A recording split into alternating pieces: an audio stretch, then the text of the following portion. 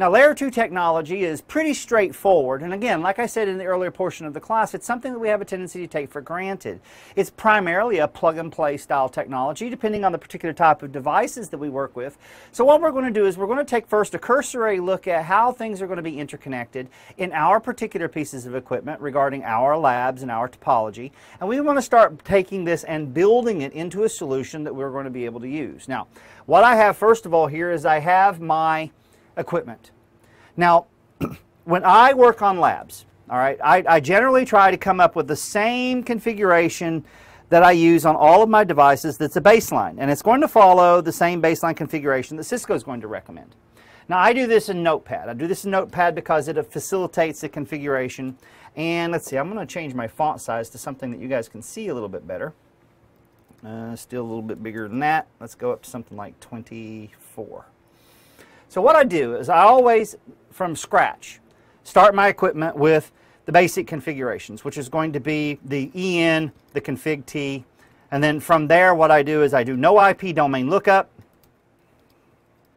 Now the reason that I do that is, is that I have a tendency to fat finger. I always type, make a lot of typographical mistakes, and in doing that, when you do it at the command line, the system is going to try to query a DNS server. If I type no IP domain lookup in the console, then it's going to stop that behavior and I'm not going to get hung up by virtue of the fact that I've made typographical mistakes. Inside the context of the lab, you're going to have the same issue with regard to how Cisco is going to do it both in the configuration and in the troubleshooting section. This command will probably be already on the router itself to start with. So once that's done, then I need to go into my line console 0 and I'm going to do my basic configurations. Now, I don't like to do security configurations on devices when I'm labbing. I just, it's just something that I don't really want to look, work with. But there are commands that I want to take care of, like no synchronization or no sync. Now, by doing that, what I'm basically doing is, is I'm setting the system up so that such I'm typing, it's not going to interrupt the messages or my console that I'm actually typing on with console messages. And then the other thing is, is that it's a pain in the butt when our routers just all of a sudden kick us out, as well as switches. So what I'm going to do is I'm going to say no exec dash timeout. Now you could also come in here and say exec timeout 0 space 0. Now the idea here is, is that when we're setting this up, uh, you can go ahead and get into your racks if you want. I'm just walking you through some of the basic set setups and I was going to recommend, Avery, he got back a little bit late. He's basically uh, asking us to whether or not you guys can get into the gear. When you get into the gear, if you choose to follow with me, that's perfectly fine. Not a problem at all. But what I want you to do is just get into your catalyst switches, Cat 1, Cat 2, Cat 3, and Cat 4, and leave your routers alone because uh, I've got Jake who's currently trying to shake out the rest of the configs in pods 109 down to 112.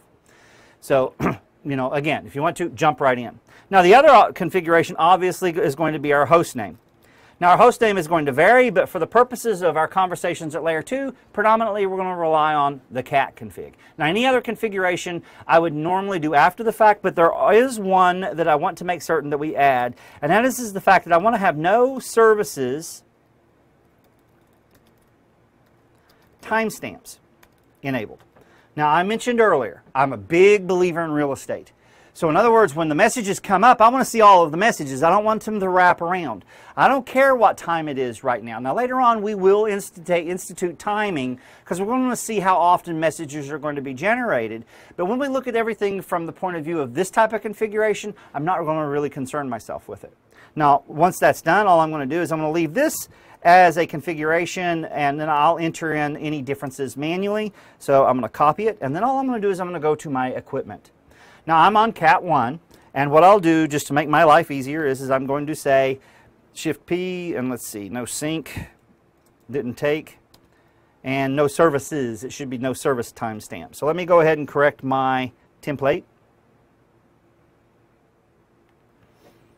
So it's no services and it should be oh I typed it wrong no sync. So now let me grab it and do the same thing. So Command copy. So just to make sure, I'll just paste it in here. Everything should go through to include the host name. Still didn't like the sync. Line console 0. Logging synchronous. All right. So just to make things uh, squared away here, we'll see what happens. I'll do V. And it's not liking it. It's not liking no. That's why. Duh. Terry needs to learn to spell. Terry's been pretty nervous since he got up this morning, so you guys are just going to have to deal with Terry's foolhardiness. Copy. So now, this is going to be cat 2. We'll cut over to cat 3, do the same thing.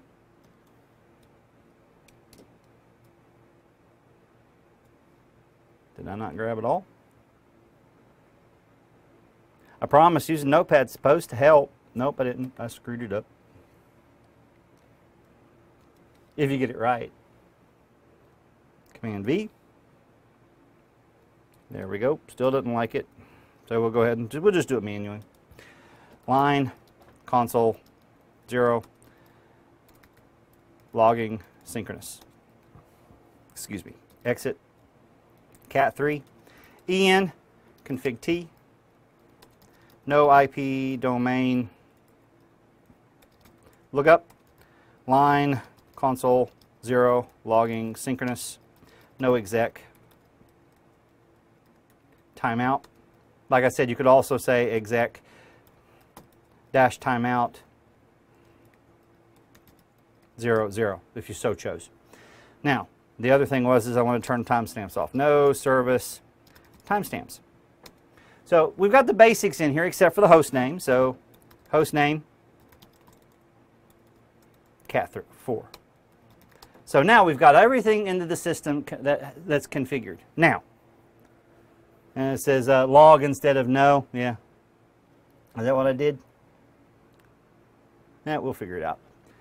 We got around it. I've yet to be smart enough to break my, lock myself out completely. So I just grabbed a marker. Now, a lot of people don't like me drawing on the console, all right? I like drawing on the console because I hate having to toggle between the console and a whiteboard. So if you guys have a problem with it, just let me know and I'll adjust the presentation accordingly. But until I hear otherwise, I'm going to draw on the console for the next five days because it's just so much easier for us to be able to do things. Now, what I want to do is I want to illustrate the fact that we have Cat 1 connected to Cat 2, connected to Cat 3, connected to Cat 4. These are our catalyst switches. Now, the first thing that we want to understand is that when we start doing these connections, how do we determine what interfaces are connected to what devices? What's the fastest tool that I have in my inventory to allow me to be able to identify information associated with links and neighbors? Correct. Williams got us with show CDP neighbor. Now, show CDP neighbor is a protocol that's going to be running by default in most instances. Sometimes it may be turned off, and we're going to be able to enable it and disable it both at the console and at the interface level. Just depends on how granular we want to be.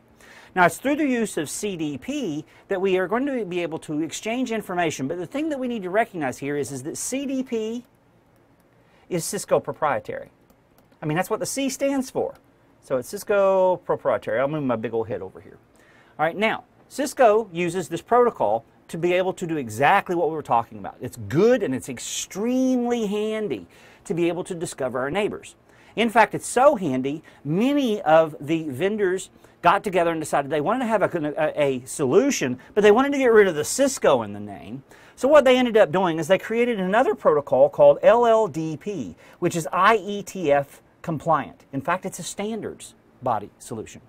And LLDP, depending on whose books you read, stands for Link Local Discovery Protocol or Logical Link Discovery Protocol. Link Local is the one that I've always known and read, and that's the one that I'm going to drive with, forward with. So it's still going to be a layer 2 discovery protocol. Now what we're going to find out is, is that CDP does a lot more for us than just expose us to the ability to be able to exchange, uh, exchange information between our neighbors. Now, we also have to realize as CCIE, Cisco may call upon us to be able to do manipulations to our CDP protocol that we're going to be running. I mean, it is a protocol. That's what the P is in the name, Cisco Discovery Protocol. We use CDP for a lot of reasons and a lot of purposes. We can use it in the form of being able to ensure that we have voice communications because what we want to do is we want to communicate critical pieces of information to Ethernet phones that may be connected to particular interfaces. We're also going to find it the fact that we have a routing protocol that is built around it. Anybody know what that routing protocol is? It's not by itself a routing protocol. CDP is not a routing protocol, but there's a routing protocol that's actually built all the way around it. Yes, William got it correct. ODR. That's on-demand routing. Now, on-demand routing is a really funky critter, and it's not in our blueprint anymore. It used to be in the version 3 for the longest time, mentioned passing in version 4, and then dropped, gone the way to the dodo in version 5. But it's still a pretty po popular and commonly used tool in extremely small environments. On-demand routing utilizes CDP to exchange key pieces of critical information between spokes and the hub that we're doing our configuration on. Now the problem that you need to understand, or the situation, is, is the moment we enable a dynamic routing protocol on the hub, ODR is going to turn itself off. We can run ODR on a spoke simultaneously with another routing protocol, but again, I mean, why would we normally find ourselves in a position to do that? So we're not really going to explore the concepts of ODR, but I just definitely wanted to play to the point that, pa that Pablo is mentioning, and that is, is the fact that it's integral to routing and it's integral to routing in the terms of the actual ODR routing protocol itself. So we've got two options that we want to be able to look at here that we need to realize what's going on. First of all is a Cisco proprietary solution. Cisco proprietary solutions are typically on by default. So what we'll do is let's cut over to the equipment and on SW1 or Cat1, I'll, I'll go between the two terms, SW1 for Switch 1 or Catalyst 1. I'm trying to make everything uniform, so I will try to stick to Catalyst, but every once in a while I know I will bounce back and forth. Now what we want to do is I'm going to type show CDP neighbor, the command that we said that we would use. And let's see what it tells us that we're connected to. Now, temporarily, I'm going to take these catalyst configurations, these drawings off, but we will bring them back. And we want to look at this output. Well, the output that's being communicated to us is going to tell us about our neighbors. Notice we are connected to Cat 4. We're connected to Cat 2. Notice we have connections to Cat 3. Now, when we look at how this is implemented, we know that we're on Cat 1 here, and it's going to tell us how our interfaces are actually interconnected. So just for a brief period of time, I want to bring that drawing back because I want to draw some of these connections in. So notice we see here that we're connected to Cat4 via interface 19 and 20, but it's 19 and 20 on both ends of the link. So if I come down here, I have two connections, FAO0 19 and 20, 19 and 20. Now we know that we're connected to each according uh, to this output. But there's also some additional information that we see here. I'm going to erase the CDP here just very shortly. And we'll put it back. But what I want you to see here is, is notice that we have this value here called a hold time. Now, is that value with the hold time associated with the switch or is it associated with CDP? We're going to discover it's associated with CDP, and we also see some critical information that's being communicated. Not just the interfaces with which we share a link, but we're also seeing information relevant to the device that's constantly or physically attached to that particular end. Now, as William's saying, this hold down time is part of our table because this is a refreshing protocol. It's a constantly running layer 2 control plane construct that's running between our devices. And what I want to show you is we can come in here and type show CDP with no neighbor configuration and it's going to give us the relevant information we are going to see that we're going to send a hello packet out every 60 seconds. We have a hold down value of 180 seconds. That's what this is indicative of. So of the 180 seconds, this is going to be a constantly changing numeric value that we're going to see as a result of the output of the show CDP neighbor command. Now, when we're looking at this, also keep in mind, by default, Cisco is going to support the version 2 of its own protocol. Let's see here. William's got something. He's giving me some information. Uh, uh, show CDP, uh, uh CDP global, CDP configuration, sending 60. Okay, he's basically reiterating what I have here. So as we look at this, we also can see some other components that's really significant for us. So what I'm going to do is I'm going to type show CDP, and let's use the context sensitive help. And what we're going to see here is, is we have the capability, let me grab an eraser. We have the capability of doing entries, we can do interfaces, we can do it based on neighbors, we can look at TLVs, which stand for type length values, and we're also going to be operating to where we can see traffic statistics. Don't get CDP and VTP confused, Pablo. Pablo's asking if we can be in transparent. No, we're either going to be able to turn CDP on or we're going to be able to turn CDP off. There is no transparent operation where we're just going to ignore it and pass it through. So it's not like VTP. VTP has to do with VLAN propagation and management. It has the idea, oh, let's see, VTP domain version duplex. See, can you be transparent? Uh, okay, uh, Pablo, reiterate your question then, I'm sorry. Oh, transparent. You want me to get out of the screen. You want me to get my big old body out of the way. I apologize. I didn't realize what side of the screen I was on. Yes. So I'll take myself out of the equation right now. Nothing that I'm really adding other than color and an object that's very difficult to see through. So as we look at this, what I want to do is I'm going to pick an interface. Well, we said we have Fast Ethernet 019 is one of the interfaces that we have, but what I'm going to have to do is I'm going to have to type interface Fast Ethernet 019, and now I'm going to be able to hit enter, and this is going to give me information associated with my individual link. Notice it's telling me how I'm operating. I'm using Ethernet. That's what all this translates to. ARP-A or ARPA. Now, also when we go through, there are a number of other things that we can do. So, for instance, I can type show, CDP, neighbors, and now I get a whole plethora of information. But one of my favorites right here is detail. Now, if I enter detail here, this is going to give me some pretty interesting information. Let me, let me go ahead and just take this off. I'll erase this. And look at what we've got here. I mean, we have a ton of information. The information that we have is going to be related to what native VLAN we're running, how we're operating. We're running in full duplex operation. Any management interfaces that we may have set up in the system. Any of the protocol values that we're going to be running associated with CDP itself. We're also going to find if I scroll down here, I'm going to learn detailed information about my individual neighbors on a link-by-link -link basis. Notice, CAT4, that's the switch that we were talking about. It's telling me it's running IGMP, Internet Gateway Management Protocol. It tells me what my hold down time intervals. It tells me the port information that we saw in that one configuration. But even more to that, I know not only what type of device I'm connected to, I know what type of IOS it's running. And as we go down, we're going to find additional pieces of information for each of the in individual interfaces that we have connected to a particular neighbor. So I'm going to go ahead and end that. Now, there's not a whole lot to this with regard to operation. We can go in and we can change and adjust timers. All we have to do is go to the idea of config T, and when we do CDP, we have the capability of affecting how we're advertising it. We can affect that hold down timer. We can turn on, enable it, or disable it.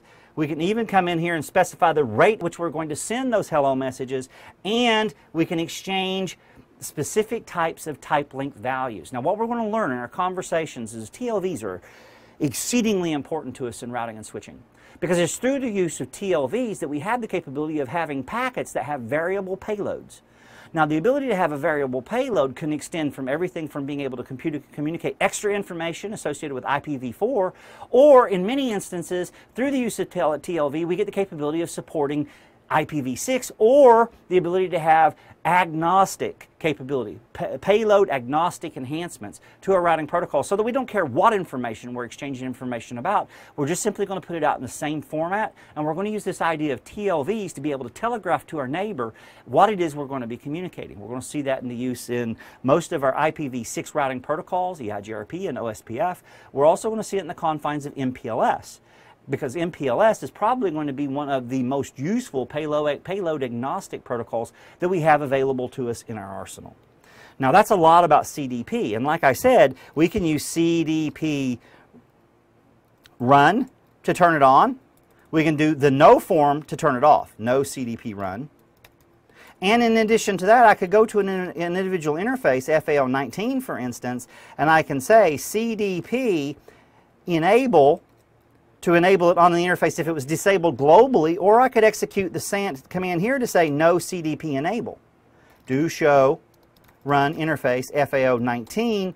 And what we're going to see here is, is this is appearing in our context because it's a non-default config. Now another thing that I want to show here, now that if I come in here and say do show CDP neighbors, and I want to look specifically for information associated with CAT4 include cat 4. Notice I don't have anything here. Let's see what I've got. I've got it's a it's all case. Sorry, cat 4. There we go. Now, I thought we turned it off on 19. Well, we did. But the problem is is the idea is, is that now on 19 we still have this timer. This timer has to expire. So we're going to see this timer get lower and lower and lower counting down the seconds until such time that it immediately does what I call cookout. It's going to drop off of our radar. It's no longer going to be a point. But this is 180 seconds. So three minutes before this information goes through. So keep that in mind. Now, if I wanted to be able to take a look at this, another thing I want to do while we're waiting for this to actually remove itself is I want to do another command. I'm going to say end, and I'm going to say show run interface FAO19 so we can see that output. Another command that I can enter, enter here is show run all, excuse me, interface. I've been in, in XOS too long. FAO19 all, show run all pipe Nope, won't be able to do it. So it'll be pipe, section, we'll just do it, all run. So show run all. Now what I'm doing is I'm looking at all the commands that would specifically make certain that all of this information, all the configuration on this router. So we'll, we, let's go down to 19. So we've got VLAN 1, 6, should have began it at it.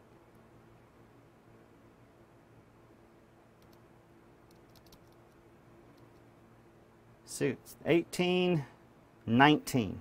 So this is the interface in question. Notice all of this information it's actually already configured on this particular device. We have everything from what our actual access VLAN is, what our mode for negotiation, is it on, is it off, what type of values are we running with regard to some of our security procedures that we're going to see. And the whole goal here is, is the fact that once this is done, we're going to see things associated with not only our CDP, but notice here, the fixed values for our CDP TLVs. They're focused specifically on server location at this point to include priority and cost that's been assigned to our given interfaces. So we can see that there's a lot of information that's ordinarily hidden from us and show CDP neighbors. Notice we only have the one entry now for 4 because it's not in the table because we've actually removed it. Now another option or another thing that I could have done is, is I could have changed the timers. So if I come in here and said config T, and I said CDP, one of my options is I have the capability of altering that hold down timer. I could have changed this particular value. Another option that I could have done was to be clear CDP, and it's going to allow me to focus on clearing my tables. And if I'd pressed enter, that's going to immediately clear all that data out. So CDP neighbors, and all we would have to do is wait for the hello messages to begin being exchanged between these interfaces. Before I forget, I want to go back over to config T, interface FAO19, and say CDP enable. Show run interface FAO19. Do. In NX, if you guys don't know, in NXOS, you do not have to do the do, the do command. And the no command never works any, on any OS for that. And now it's removed. So looking at what we've got here, I mean, we've talked about using CDP, but what happens if I want to use something like LLDP?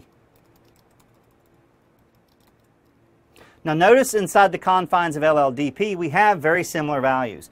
We have a hold down time, we have the timers, we have the capability of enabling it or disabling it. We also have, in this particular version of the IOS, which is 66, I have the, the ability to be able to select the TLVs.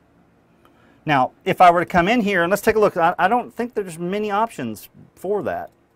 No, actually, there's more than I thought there were. So we, we operate using, see, system TLV name. We can specify all of these criteria to be able to exchange. Oh, this is using LLDP. That's why. But when we start looking at it, how do I turn it on? Well, it's quite simply LLDP run. Now if I come up here and do show LLDP, now we're going to see the information associated with LLDP. 30 seconds. We're advertising every 120 seconds. LLDP interface reinitialization delay is 2 seconds. So in the event that I lose this, I, I will attempt to resynchronize my link and my connection. Now, are we going to rely heavily on UDLD? No, but it is on the blueprint. It's in one of the check, first check boxes we have to go through, so I wanted to make absolutely certain that we covered it. All right?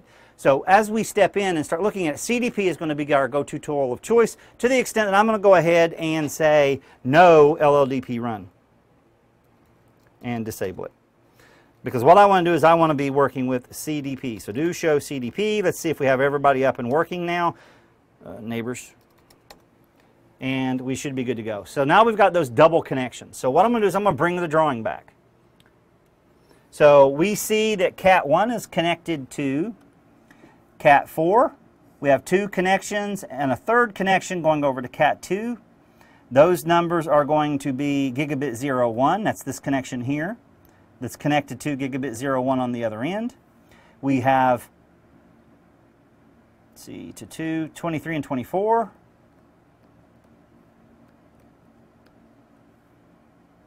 And we have the two connections going down to Cat 3, which are going to be 21 and 22. We can see that they're connected to 21 and 22 on both ends. Now, as you can see, quite quickly, we can go through and we can do all of these interconnections such that we now have an idea of how our devices are going to be interconnected, and this is what we're going to discover. It's going to be a reproduction of all of the numbers that we had before, 21 and 22. It will be 23 and 24. And obviously, we're going to have this gigabit Ethernet connection that we have running across the top. So that allows us to be able to do things as simple as discovery. But now what we also want to realize is the fact that we're going to have interconnections to other devices. Now, the interconnection to other devices are going to be in the form of routers. Now, I'm going to pick a router to use for the illustrations because we need to talk about some special technologies and how we're going to be doing our interconnections. But first, before we go into this, what I want to do is, is in the current state of operation that we have right now, recognizing that we have 3560s, do we have any layer 2 interconnectivity between these devices whatsoever? So between Cat 1, Cat 2, Cat 3, and Cat 4, do I have a unified fabric in any way between these devices? Yes or no? Yes. Anybody else? You guys are on the ball. What, the VLAN, Avery's already said it. VLAN 1 is up and operational between all of these devices by default. So in other words, I have a single fabric connecting all of these switches, but I have no trunks. So what happens if I come in here and I create, let's go ahead and change pin colors. What happens if I come in here and create VLAN 10 and VLAN 20 on this device and this device. And I just create the VLAN. What's going to happen? What's going to be the outcome? While you guys are chiming in on that, I'm going to go ahead and go in and just do it. So on Cat 1 and Cat 2, I want to create VLAN 10 and 20. Sorry. VLAN 10, VLAN 20, exit. All right?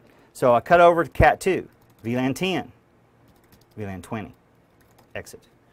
All right? Now, when I come up, the exact outcome here is, is will I have a trunk? All right, so if I come in here, what happens if I go over to cat, I keep trying to use uh, term server.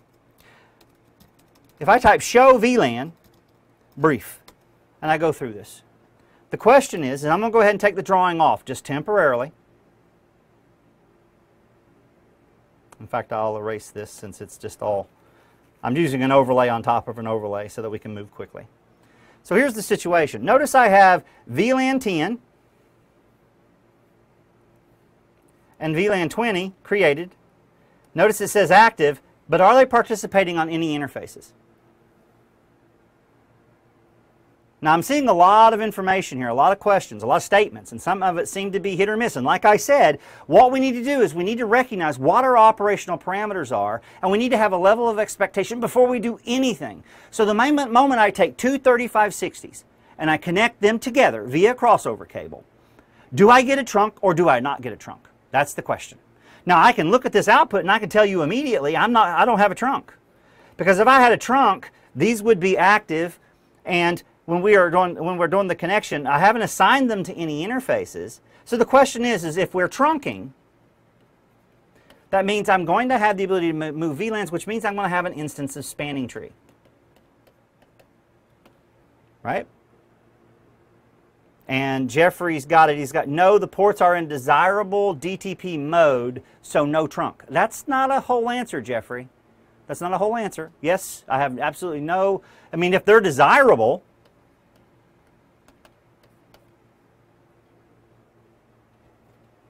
What mode are they in? Let's take a look at that. And let's, let's see if I can't divine that answer here. So what we'll do is I'm going to type show interface FAO, let's just pick one, 23, switch port. And let's look at the parameters of this particular device. And what are we going to see here? Notice it's not in desirable, it's in dynamic auto. Now, I used to hang out with a lot of Marines and a lot of Army guys, Special Forces and all those people. And what we're going to, what you're going to realize immediately is, is that when you get a, when you take two devices and you start interconnecting them, Cisco devices, and, you, and, and you're doing it, it depends on the model of device that you have. When we had 3550s, they had an operational mode of dynamic desirable. Now, the dy dynamic desirable, the, the, the dynamic part means I want to trunk. All right, the desirable part means I'm willing to go out and initiate the trunking process. 3560s have a base operational parameter of dynamic auto. Dynamic means they want a trunk, but they're not going to initiate it. They're going to wait. So they're going to automatically wait for someone else to initiate the trunk. So the thing is, is that, you know, traveling with the Marines, I mean, you, you walk into a bar, and, you know, one of them walks up to somebody else and says, hey, want a trunk? Well, the whole idea here is that desirable component is the amount of alcohol that it takes to get you to the point to where you're willing to ask. But everybody wants to trunk, right? Especially switches. So when we start looking at this, the main idea here is, is that when we start implementing the devices, they're not necessarily going to go into fruition. Now, Avery's asking, is that IOS dependent or is that hardware specific? Well, I can have the same version of IOS running on a 3550 and a 3560, and they're going to have basic operational variances. One's going to be dynamic desirable, one's going to be dynamic auto. So the answer to your question is it's going to be hardware specific. The 3560 that we have in our labs are going to be operating using this particular mode. All right? Now, uh, as William's saying, note some of my switches are already configured for trunks and have separate VTP domains. That means that we got carryover config. So right now, don't worry about it. We're just going to some exploration.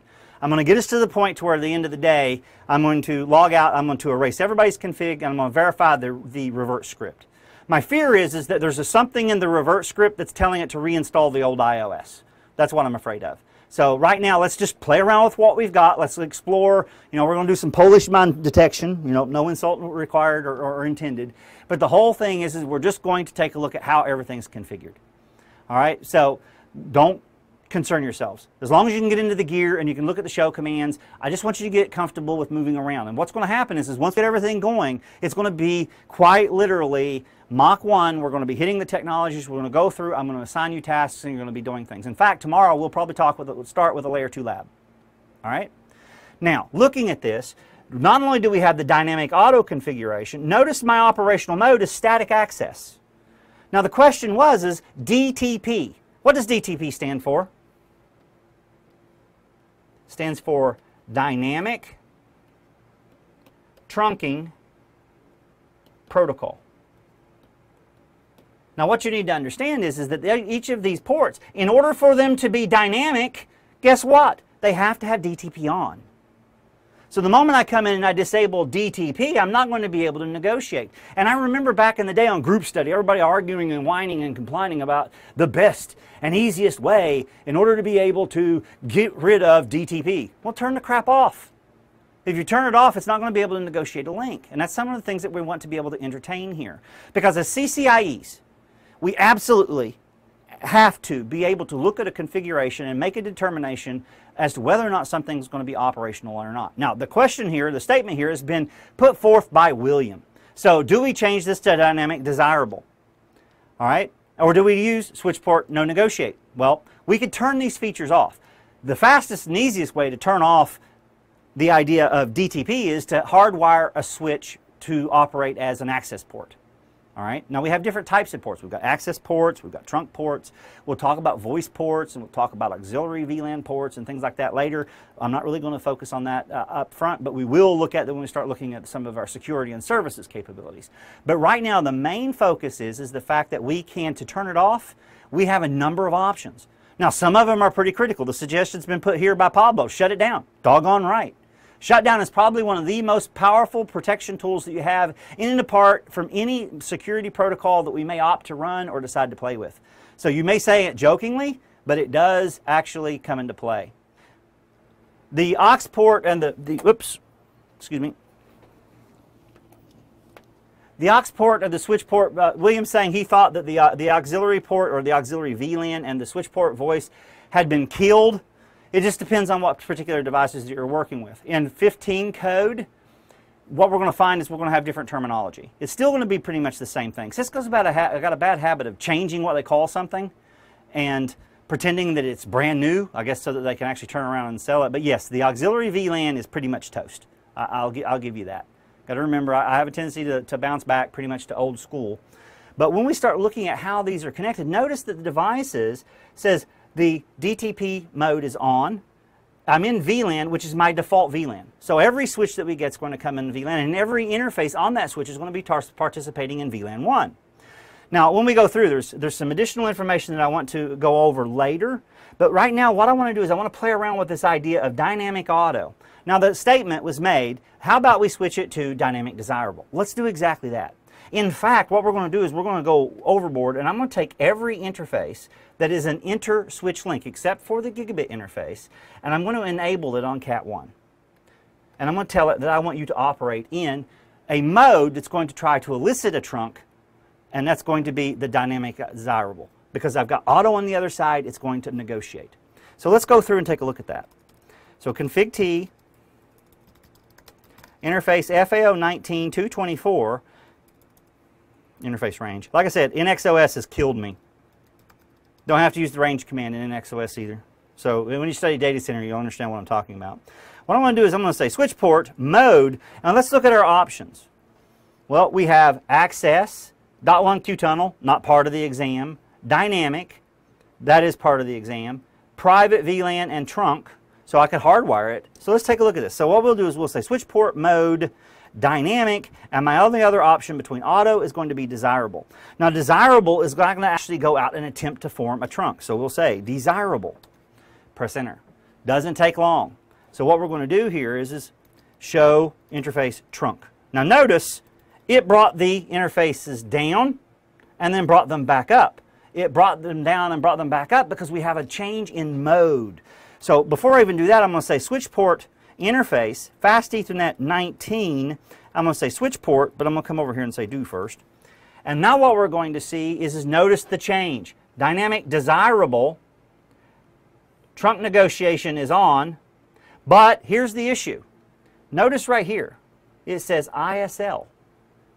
There are two types of encapsulation. In the confines of version 5, we do not have to concern ourselves with ISL. We're only going to be concerned with, concerned with dot 1Q. Now, dot 1Q is, again, industry standards. So it's a standards body protocol. ISL was a Cisco proprietary protocol that was originally designed such that we can be able to, they tried to beat the industry to market. And when we start talking about spanning tree, we're going to talk, start talking about the war that, became, that went on between Cisco and the rest of the providers in the free world over this concept of virtual local area networks. But never lose sight of the fact that ISL, integrated switch links, are Cisco proprietary. We're not going to spend any more talking, time talking about them because we don't need to know them in the context of the lab. So now what I want to do is I want to illustrate something. I want to illustrate the fact that we now have trunks. And the fastest and easiest way for me to, to prove that is to type the do show interface trunk command. Now, I'm going to go ahead and clear this output. Now notice it says ISL. What's that N stand for? It stands for negotiated. It was generated and configured to work with our DTP. Now, here's the interesting component. Let's go back over to Cat2 and let's see if we can't play with some stuff. Notice 23 and 24 are the only interfaces that have links. I can demonstrate that by doing, again, the do show interface trunk command. I only have a trunk going to Cat 1. So just in a nutshell, what, what do we have? We have this. We have Cat 1 connected to Cat 2 via two links. That's going to be 23 and 24 on both sides. And we are trunking. Now the problem is, is we're trunking ISL. And that's a default of this particular device itself. So when we look at this, how do I change it? Well, we used the idea of DTP So we got dynamic trunking protocol configured here. All right. So if I were to take a look at the trunk on this line, notice it says in ISL. Well, that's interesting. So let's take a look at this interface right here. Let's go to Fast Ethernet 13, interface FAO, I'm sorry, 23. And I want to change this behavior. I still want to use DTP, but I don't want to play with Cat1 using ISL. So what I'm going to end up doing here is I'm going to come over here and I'm going to say I want to change my encapsulation method. So I'm going to say switch port mode, I'm sorry, switch port trunk encapsulation, and I'm going to say dot one Q. Notice it's negotiate by default. It's going to negotiate ISL first by configuration, but I want to change it to dot one Q. I want to use that industry standard protocol. Now when we take a look at this, do show interface trunk, sorry, do show interface trunk. Let's see what we see here. Well, we had a change in behavior. It's not ISL anymore, but something else disappeared. The thing that disappeared was, where's that in? Where, where'd that in go? I mean, are we not using DTP anymore?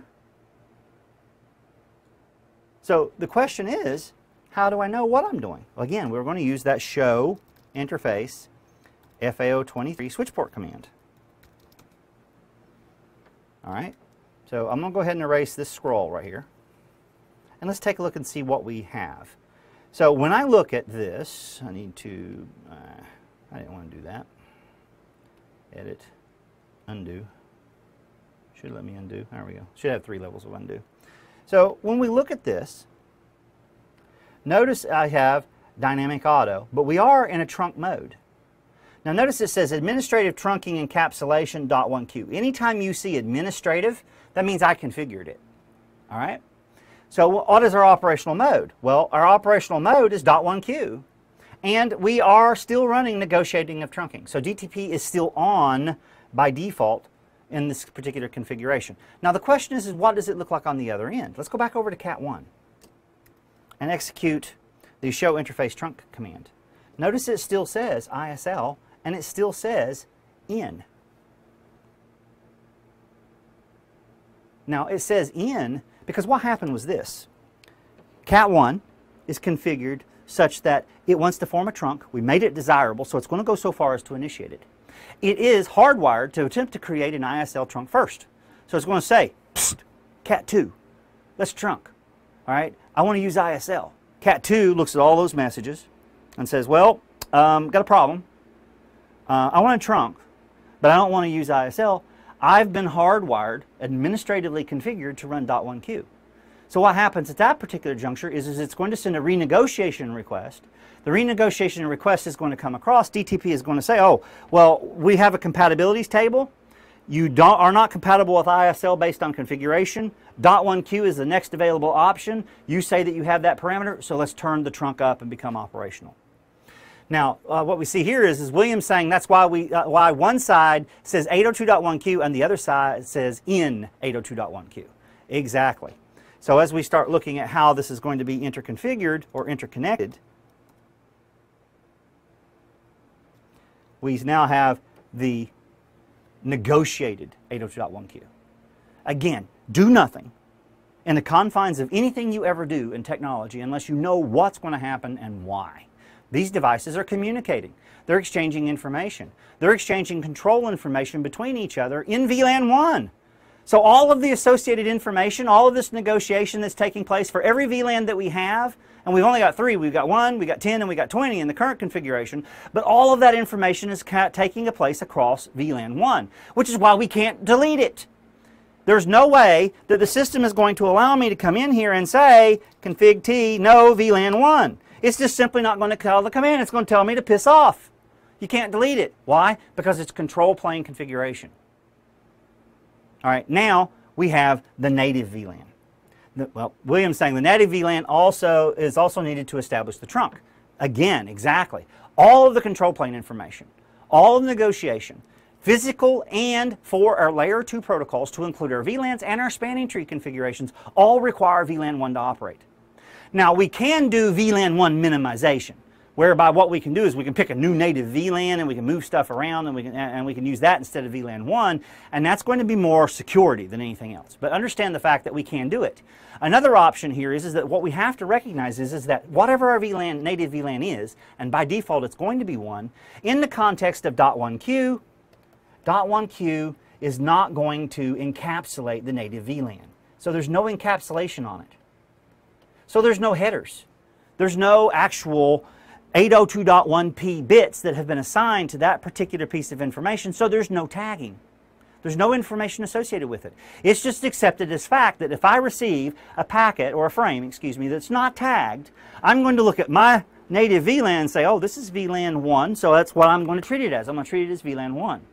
Because until such time that I say to tag native VLAN traffic, there's no way for us to be able to verify that. All right.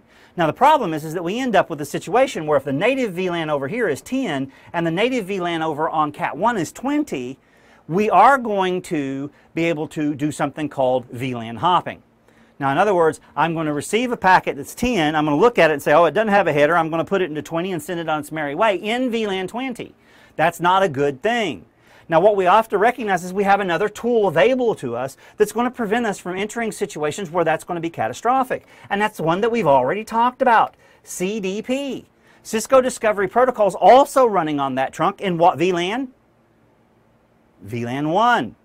So what's going to end up happening is this VLAN 1, the CDP information, remember one of the outputs, if I come over here and I type do show CDP and I hit enter, I don't get anything, but if I do that detail, uh, need to be, uh, uh, is it interface? No, neighbor. I can't complete. Show CDP interface. FAO23, nope, it'll be neighbor. Neighbor. Show, show CDP neighbor detail.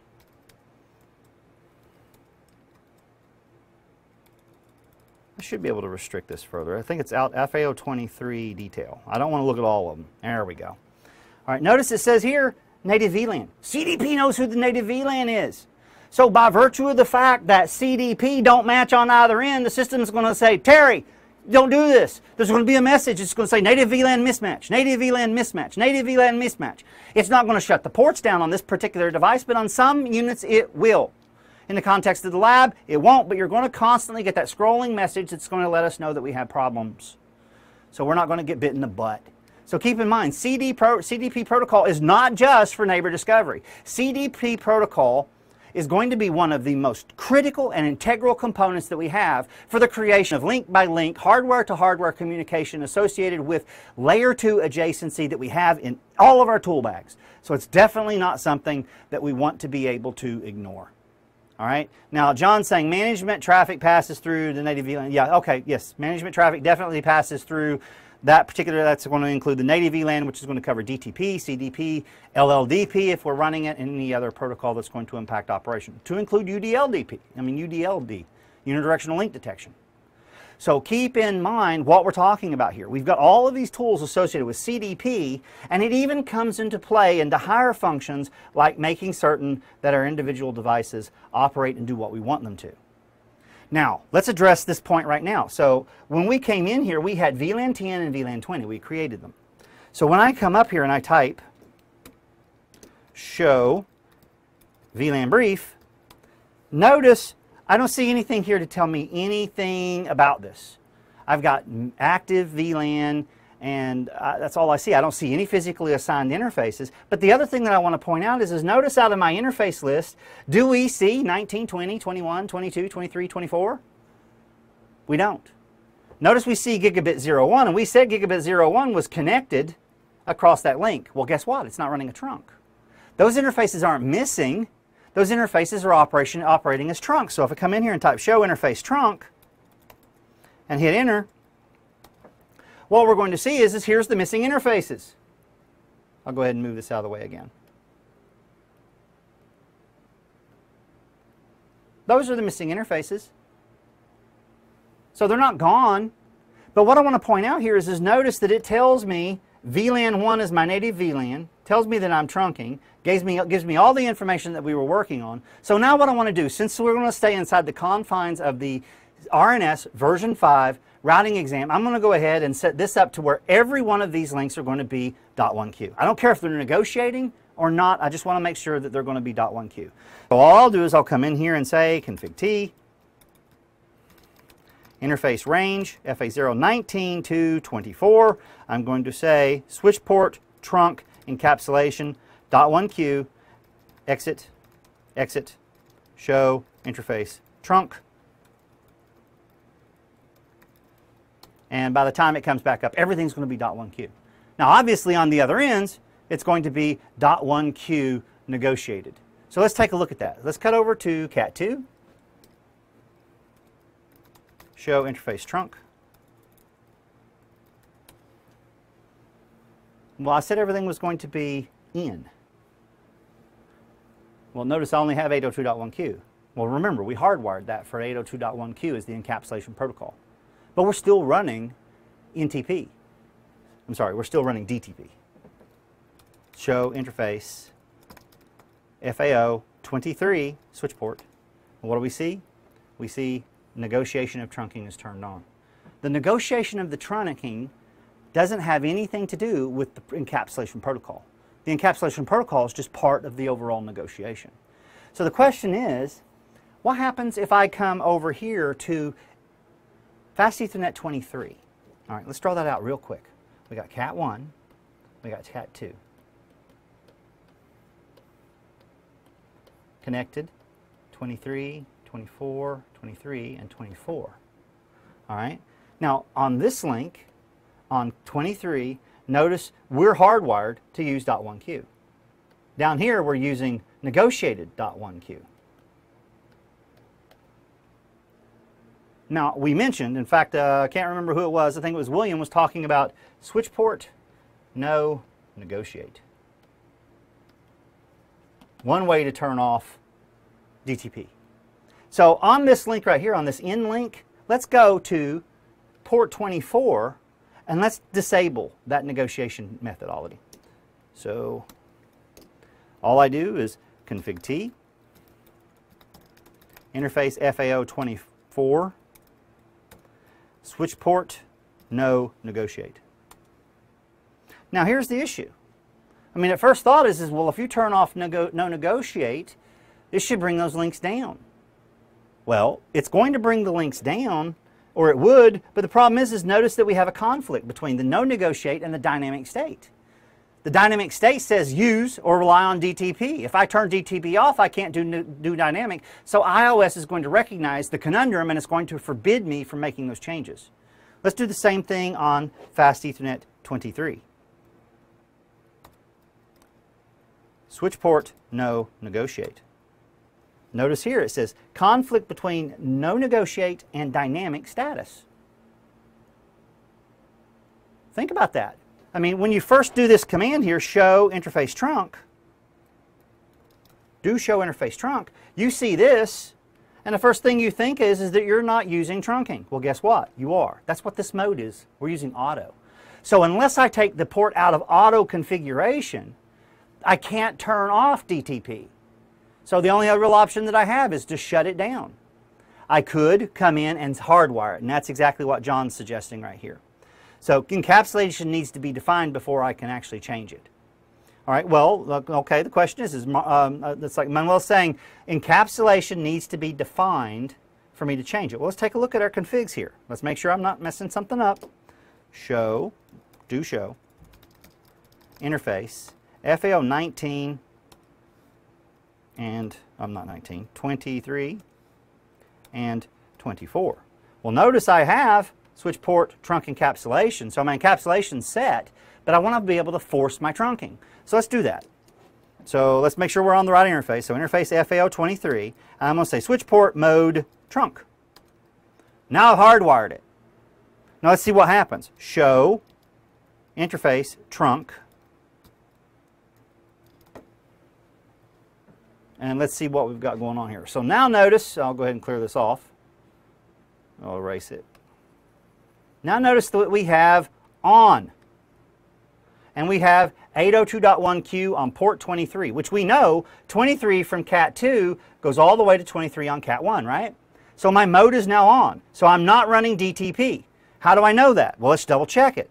Let's come up here and say do show, excuse me, interface FAO23 switch port. And what do we see? Administrative mode trunk, operational mode trunk. The administrative mode and the operational mode can be completely different. The administrative mode should, could say it's administratively configured to operate as X. But I could actually be access because I failed to negotiate anything. But the main thing I want you to understand is, is keep in mind here, do show interface trunk tells me that this bad bear is operating in mode on and I have an 802.1q trunk to my neighbor. I even see that. I mean, that's, that's telling me the information. Let's cut over to Cat 1. Show interface trunk. So let's see here. We've got 23 and 24. Those are the two links that we have. We're .1q, we're trunking. Everything looks to be good to go. Now, how can I test this? Well, we can test this with the concept of an SVI, Switch Virtual Interface. So what I would do is I would come over here on Cat 1 and I would create an interface. I almost typed feature interface VLAN. So what I would do is I'd say interface VLAN. Let's create a management interface in VLAN 1. Let's just say it's IP address 10 10 0 1 255 255 2550. No shut. Let's cut over to Cat 2, do the same thing. Interface VLAN 1 IP address 10 10 0 2. Actually, I didn't want to do that, but no big deal. I like using the router numbers. So I'm going to actually modify that. So I'm going to say 7 for cat 1 since it's after and then I'll say 8 for cat 2. All right, so now, no shut. So let's see, can I ping 10, 10, 0, 7? and I'm able to ping. It's no problem.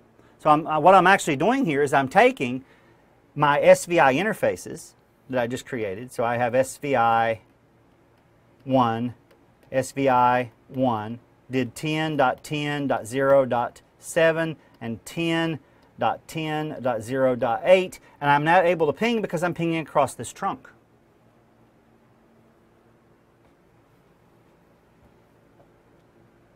Hold on one second say best practice mode on switch port mode no negotiate.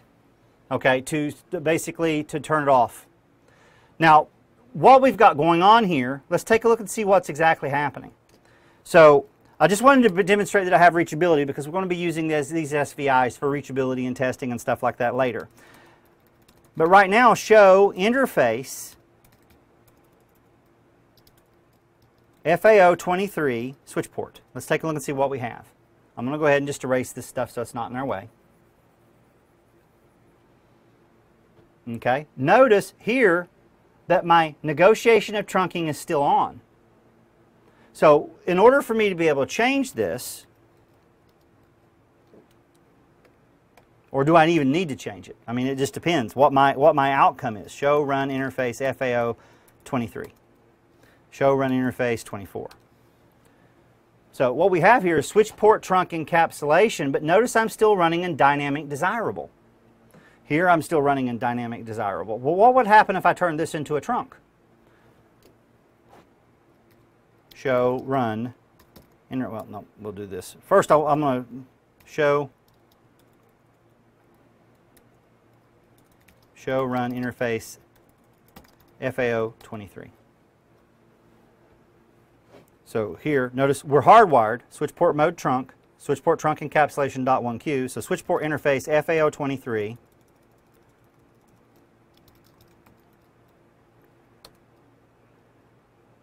That's not what I wanted to do. Switch port. Okay, negotiation of trunking is still on. So what did we change? Anything? Show run interface FAO23.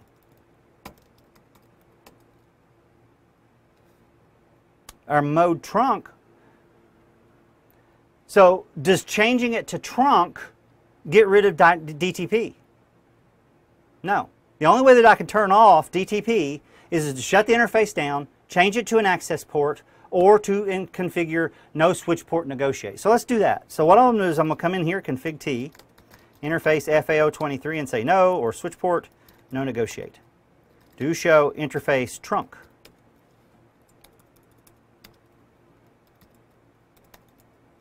Now before I hit enter, what's going to happen? Anybody have an idea? What's going to happen to the link between 23, between Cat 1 and Cat 2? Will I have a trunk? Will I not have a trunk? Anybody venture a guess? Trunk will go down. Yes, we'll have a trunk. Well, we still have a trunk. Look at it. What does it say here? It says on 802.1q trunking native. Now the question is, is what's happening on Cat 1? Let's take a look at it. Show interface trunk.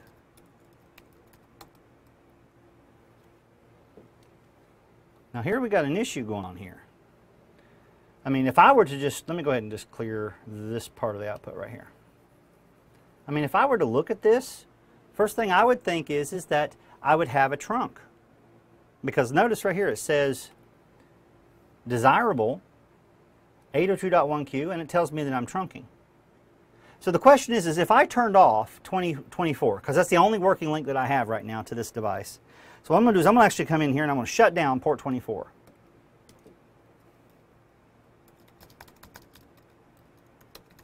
Shut.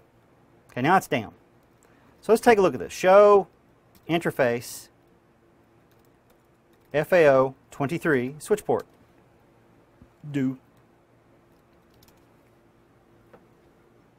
All right, I'm going to get rid of all this garbage. So what do we see here? We've got dynamic desirable steel. We have trunk dot one q on dot one q. Now, so far it's been it's been postulated by a number of you guys that says it's already it's up because it's already negotiated. Well, the question is, is is it actually up? Can we ping now? Ping 10 10 0 8. Well, we still have reachability. So if I turn it off and bring it back on, will it negotiate? You think?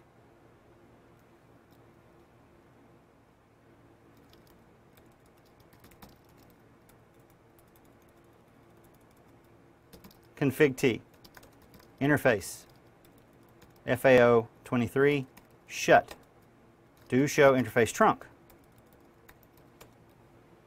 Okay, do we see 23 and 24 in this mix anywhere now? No. So let's bring it back up and see if it negotiates. Just satisfy everybody's curiosity.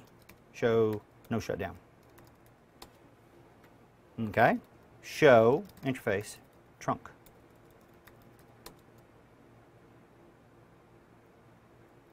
Show, do show.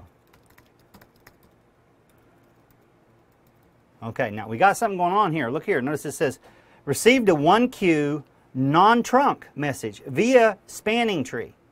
We received an 802.1q BPDU on trunk fast Ethernet 023 for VLAN 1.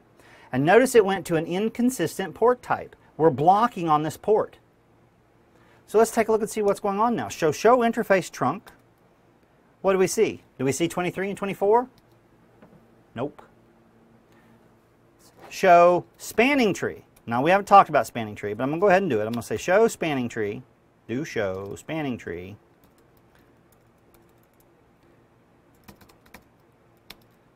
Show spanning tree for VLAN 1. Well, notice we don't even have anything going on here. We got 23 designated we've got 22. But what 24 is turned off. Well, in this scenario, notice 23 says it's forwarding. It's trying to send information across that link. Let's cut over to Cat 2 and see what's happening. Notice we didn't get any, any messages on this side. Exit. Exit. Show. Interface. Trunk. Well, here notice this says we're trunking. 23 is telling me we're trunking.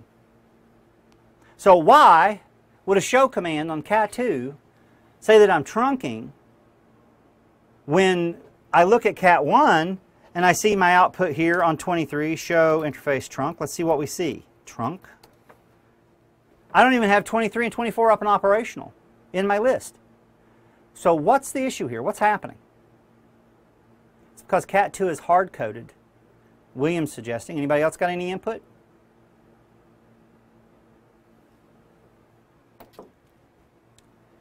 It boils down to the significance of the show commands. When I come over to a device, let's say we have in our topology, we have cat2, cat1 and cat2, excuse me.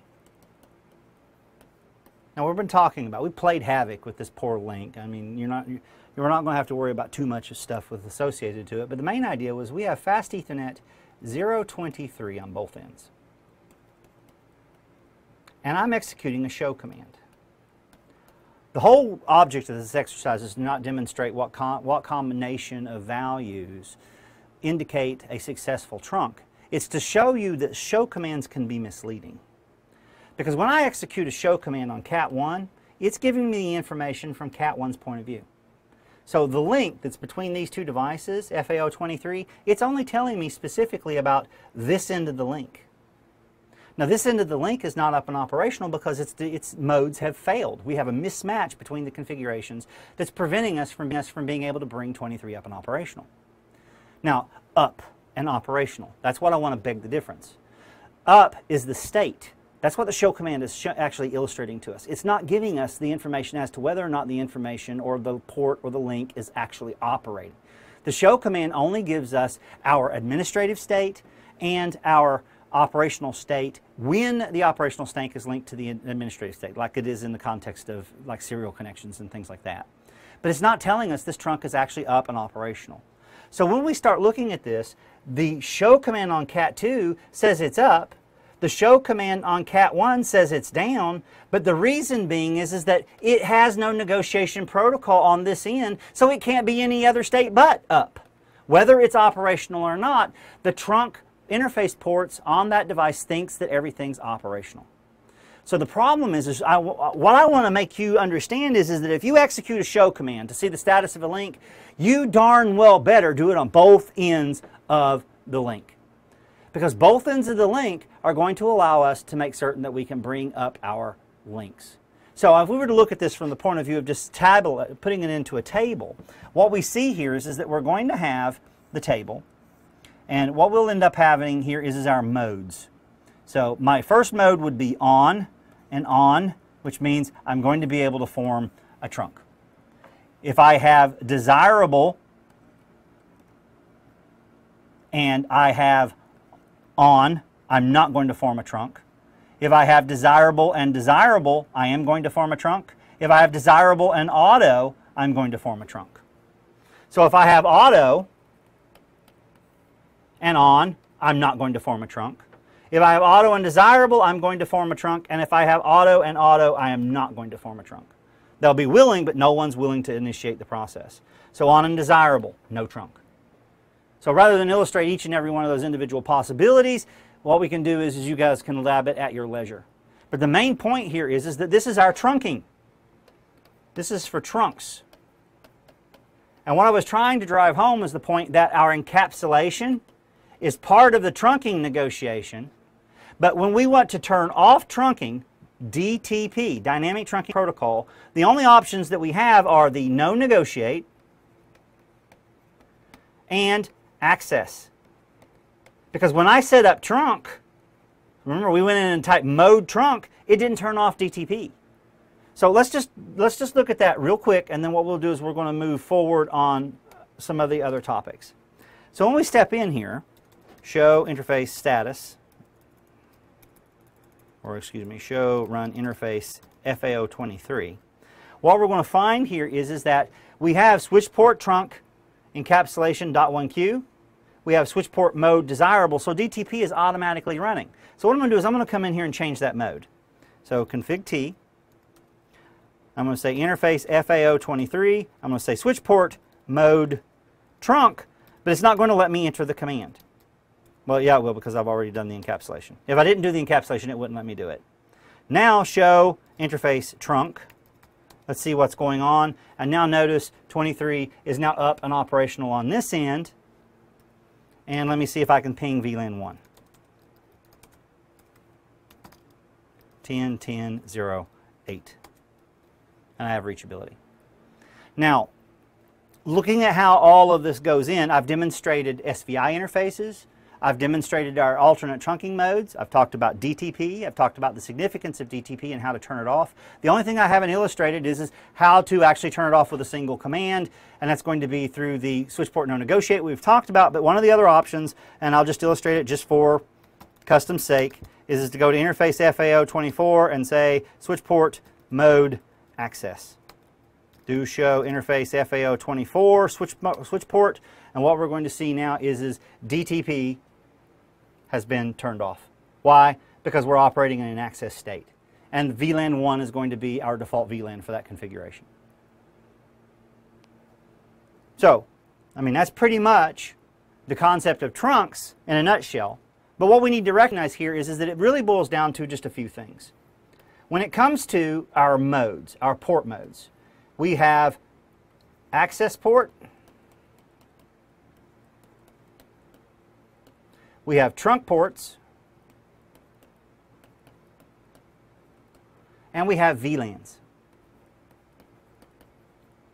Now we also have this concept of an SVI, a switched virtual interface. And a switched virtual interface is very important to us because it allows us to obtain a way of being able to test these links. Now when it comes to an access port, an access port is one VLAN. A trunk port is going to be all VLANs. All VLANs by default. All VLANs by default will be allowed on a trunk. We can go in and we obviously can manipulate that to ensure that that process is going to take, take place. And what I want to do is I want to review that right now. So if I come back over to our gear, what we're going to do is we're going to create some more SVIs. I want to create an SVI for 10 and an SVI for 20. So when we go in, on this side it will be interface VLAN 10, IP address 10, 10, 10, 7 slash 24. And I'm going to say interface VLAN 20, IP address 10, 10, 20, 7 slash 24. Whoops. no shut. Let's go over to cat 2 and do the same thing.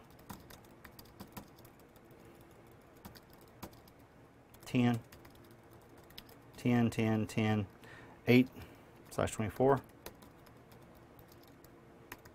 Interface VLAN 20, IP address 10, 10, 20, 8, no shut.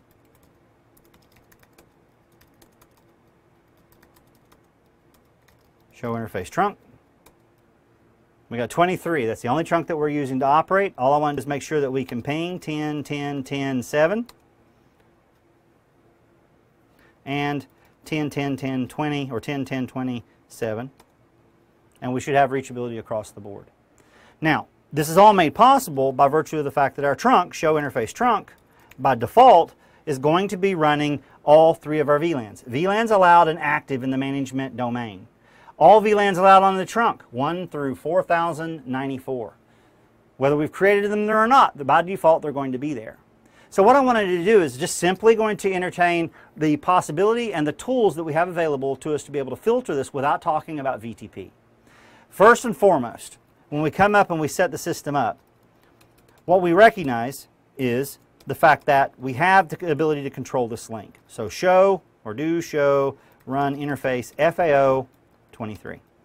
Now what happens if I want to keep a VLAN off of this link? Well all I do is I go to the interface and I say switch port trunk allowed VLAN and it gives me the capability of specifying a list of VLANs that I'm going to be allowed or I can actually remove them because remember by all by default all of them are actually allowed. So if I come up here and say VLAN except 20 or 10 on this side what I really need to make certain that I do is I actually match it on both sides of the equation. So I'll come up here and say do show history. Take a look at that output. I'm just going to grab it. I'm going to come over here to cat 2. I'm going to say en config t control paste And I just put the configuration in there. So now if I come across, I want to ping 10, VLAN 1. If I want to ping 10.10.0.7, if I type it right, it should work. And if I want to ping 20, now let's look at the VLAN that we filtered. VLAN 10. We don't have reachability. Configuration needs to match on both ends of the link when we make this type of configuration. Now another thing that we really need to entertain here is the concept of being able to manage these VLANs. Because what I want to illustrate here is, is that notice that if I come over to SW1, take a look at this, show, exit, show interface trunk, what we're going to see is, is that I have connectivity to different devices. I have connectivity 23, I've got 19 and 20 and 20 and 21. So if we come up here and do show CDP neighbors, we're going to find out what's connected to what. And then I'll get to the question. Jeffrey's saying, does the native VLAN have to be explicitly allowed on the trunk? Does the native VLAN have to be explicitly VLAN allowed on the trunk? The native VLAN has to be on the trunk. We can do VLAN minimization, but if you don't have the native VLAN allowed on the trunk, you're basically, you're going to be trashing your config. So let's go through here and let's take a look at that. So what would happen, config T, interface FAO23, that's the link that we have that's running, and I'm going to say switch port trunk allowed remove, or VLAN, remove 1. Do the same thing on the other side. Control. Config T, interface FAO23, switch port trunk allowed VLAN remove 1. Now what we've just done is called VLAN minimization. Is the native VLAN, uh, it's the native VLAN no tagging. The native VLAN shouldn't be tagged. It's not by default. But, oh, I'm sorry, does the native VLAN have to be explicitly allowed on the trunk? That's the question I'm trying to answer right now. So what we have is we've done VLAN minimization. So when I come up here and I type ping 10 see 10.10.20 or dot uh, 10.7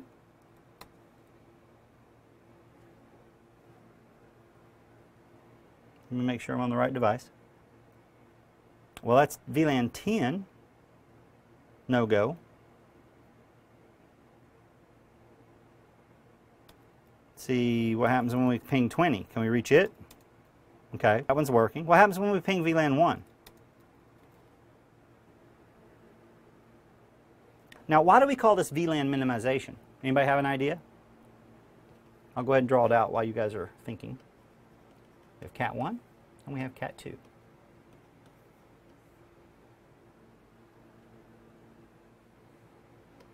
Zero twenty-three, zero twenty-three. Well, what we did is we first of all had 1 to 4,094 VLANs that were allowed on the link. Then we went down and said that we wanted to support 1, 10, and 20 simply because those are the VLANs that are configured. Those are the VLANs that are in the VLAN database. And what we did is we removed 10 and 1 from the list. Now, you would think if VLAN 1 is part of my control plane traffic, that I would shut my link down. So for instance, if I can't negotiate my link, if I come in here right now and shut this port down, will it come back up? Let's take a look at that. I mean, these are all questions that we need to be able to answer, ask ourselves, and find definitive answers for. So if I come in here and say config T interface FAO23 and shut this interface down, if I bring it back up, will it come back up? Jeffrey's saying, I mean if you are restricting VLANs allowed, do you have to include the native VLAN regardless? It's best practice to include the native VLAN, but uh, what I'm getting to illustrate here is, is we're killing the native VLAN for the purposes of forwarding traffic in this scenario, but it's still going to be operating for the purposes of our uh, layer 2 mechanisms like CDP and stuff like that. So let's see, we'll bring it back up. No shut. Show. Interface trunk. Do show.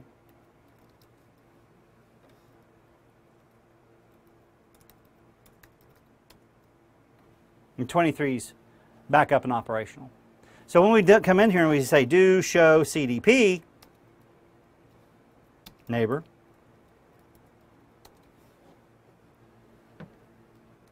our connection to, two, to between 1 and 2 is still up and operational. Still up and operational on 23. So it's called VLAN minimization or VLAN or native VLAN minimization simply because we're removing it for the purposes of data, but we're not taking it away with regard to being able and available for control plane mechanisms. Now, let's talk about why. Any of you guys familiar with a concept called pack priority? We've got three concepts I want to talk about right now, and I promise I'll give you guys a break. I know you're probably seeing yellow right now. All right? We have CDP. We've already talked about it. Well, pff, need to learn to write. CDP, Cisco Discovery Protocol. Cisco Discovery Protocol operates in VLAN 1 by default, but the best way to put it is, is it's going to operate in the native VLAN. And we can keep saying native VLAN because the only thing that we have to concern ourselves with is 802.1q. Trunks. We don't have ISLs anymore. Remember, Cisco proprietary, gone by the way of the dodo. All right, now when we come through here, there's another process that I want to spend some time talking about because we're talking about layer 2. We're talking about layer 2 technologies. So one of these concepts that we need to talk about is called CIF. I mean CEF, excuse me. Cisco Express Forwarding. Guys, this is the best thing since sliced bread. Cisco Express Forwarding enables so many features. Can't run MPLS without it. The idea of process switching versus fast switching versus CEF, night and day. All right? Now what we have to realize here is, is that in version 5, routing and switching, we're going to skirt a topic. We're not going to spend a huge amount of time talking about it, but I really think that it's important that we actually represent this because I, I really don't want to fire up any routers right now. So I'm going to mention it now and then we're going to actually illustrate it later. CEF was built for hardware optimization. It was designed to operate in ASICs. ASIC stands for Application Specific Integrated Circuits. Now, layer 3 switching.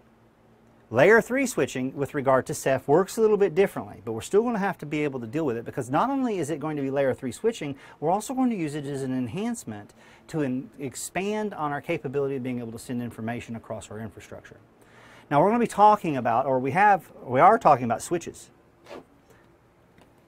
Now, it should come as no surprise that a switch switches. Just as it should become as a no surprise that routers route. Route between segments. Switches, unified broadcast domain, routers break up broadcast domains and allow us to be able to move traffic from one Ethernet segment to another through the virtue of the fact that we can cross over and we can traverse VLANs or we can traverse networks. Now, what a lot of people don't really think about is, is the fact that switches can also route I can go in and enable IP routing on a layer 3 capable switch and it'll work perfectly fine. But the element that a lot of people don't think about is, is that routers switch. They switch, they use CEF. It's non-hardware optimized. There's no dedicated ASICs in the majority of the chassis that we're working with, even at ISR Generation 2 devices. But it's still a very, very significant component to sending information from point A to point B, and we have to recognize exactly what the capacity is for switching.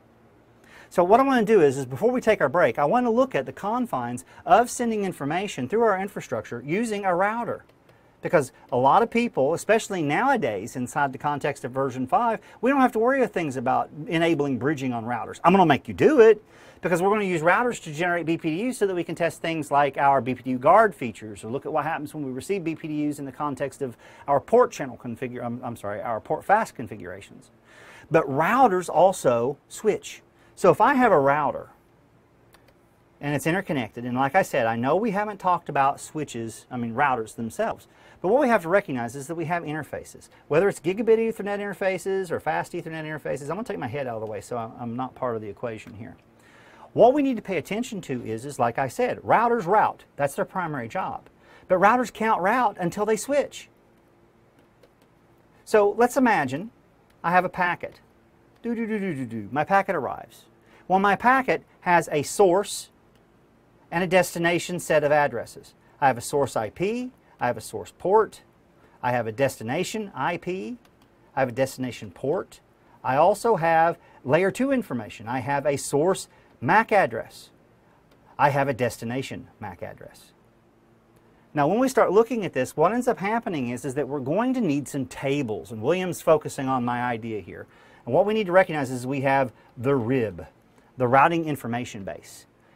When we have CEF as part of the equation, we also receive something that's referred to as the forwarding information base that is also going to include something called the adjacency table. Now, I'm not going to talk about the optimization just yet. I just want to talk about the process. So what ends up happening is, is I have a source IP address and I have this destination address. Now what's going to happen is, is I'm going to require either static routes or I'm going to require IGPs, Interior Gateway Routing Protocols, to exchange information so that I can create my RIB, my routing information base. Think of it as a, a big, huge list of control plane information. Critical pieces of control plane information are going to actually be populated into the forwarding information base, which is going to be how we refer to our routing table. Now again, I know I'm putting the cart before the horse with regard to routing and switching. We're still talking about layer 2, but this is important. Because what's going to end up happening here is, is this packet, this is not a zero, it's a packet. It arrives and it's going to say I need to get to the IP address of 1.2.3.4. Now what's going to happen is, is this device it's going to take this information and it's going to parse the routing information base. Or the, actually, it's going to parse the fib. We'll, we'll, we'll do it right. It's going to parse the forwarding information base. Now, what's going to happen is, is that I need to know where to send this information. So let's imagine we've got another interface down here. So we've got FAO2. We got a funky router. All right, we got three interfaces on it. So what's going to end up happening is I'm going to parse my table. Parse. Some people call it walk the table. But I'm going to parse my fib. Now what will happen is, is I can say 1, 2, 3, 4 is reachable via 5, 6, 7, 8. But that don't help me because I'm trying to switch. In order to be able to switch, I need to send it to an interface for the purposes of encapsulation. So what's going to happen now is, is I'm going to have to parse my table again. This is a process known as recursion. So I may look up 5, 6, 7, and 8 and find out that 5, 6, 7, and 8 is reachable by 9, 0, 1, 2. Then I need to look up 9, 0, 1, 2 such that I can actually resolve that possibly it belongs to 3.4.5.6. And then ultimately what's going to happen is I want to parse this table such that I have, uh, let's see, 5, 6, such that I come up with an interface, FAO1. Now the moment that I've recursed to an interface, what I'm going to do is I'm going to take this packet and I'm going to switch it from one interface buffer to another for the purposes of serializing it and sending it out on my link. So switching is a very, very integral part of routing, but it's also one of the reasons that our routers or these routing devices are finding fewer and fewer applications in infrastructure that's going to end up being involved in data centers because routers work slow. They don't have hardware optimization. I mean, it's not like a Nexus with a fully populated backplane. Now, no, uh, I'm being asked, is that the equivalent of the ARP table? No. We'll talk about exactly what's, in, what's involved in this entire process that I've just revealed here but it's going to be the creation of this idea of the adjacency table. The adjacency table is going to be very important because it's going to actually take information from multiple sources and it's going to be able to put it together. And the ARP table is not the MAC table. That's being suggested. Pablo is saying that the ARP table, the address resolution protocol table, is the actual MAC address table. The ARP table is the control plane mechanism used to create the MAC address table, or what's more accurately referred to as the CAM table, the Content Addressable Memory Table. In more modern device, we have what's referred to as a TCAM, which is a tertiary Content Addressable Memory Table. And we'll talk about the difference between these two shortly.